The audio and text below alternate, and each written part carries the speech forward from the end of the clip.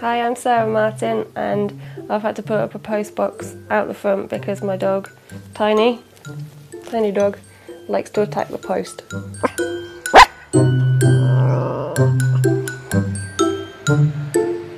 So I've had Tiny for four years and she's always barked at the postman and eaten a post when it comes through the letterbox.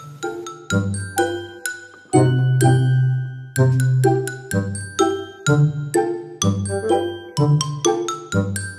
you.